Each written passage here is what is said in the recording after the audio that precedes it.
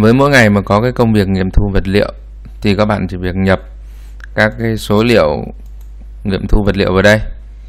Ví dụ các bạn nhập tên, nhập mã, sau đó thì bạn kích phải để bạn nhập cái quy cách lấy mẫu. Rồi bạn à, kích phải ở đây để bạn tra tiêu chuẩn, và bạn kích phải ở đây để bạn nhập thông tin ngày tháng, vân vân.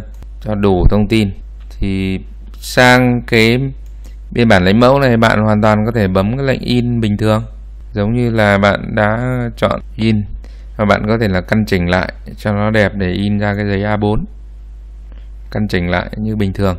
Và lưu lại thì từ hôm sau, cái lấy mẫu này nó sẽ phù hợp với cái mẫu mới mà bạn chỉnh.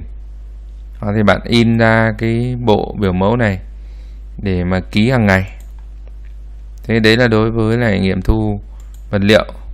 Thế còn nghiệm thu công việc thì bạn tích vào nút nghiệm thu công việc và ở trong cái danh mục nghiệm thu công việc thì bạn cũng nhập mã công việc.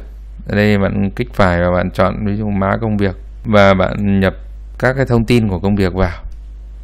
Cũng có thể là nhập vào tên bản vẽ rồi là cũng có thể là kích phải tra tiêu chuẩn hoặc là kích phải để mà nhập ngày tháng, vân vân.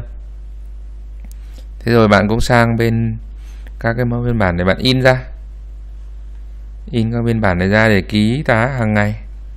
Rồi bấm cái con chạy này để in thay đổi các cái bản ghi. Thì đây là cái việc là in ra hàng ngày. In ra hàng ngày.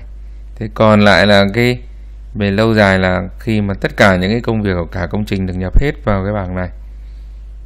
Thì sau này bạn cũng có thể là chọn cái lệnh tiện ích và in hồ sơ này thì bạn có thể là in tất cả cái tập hồ sơ đến một lần.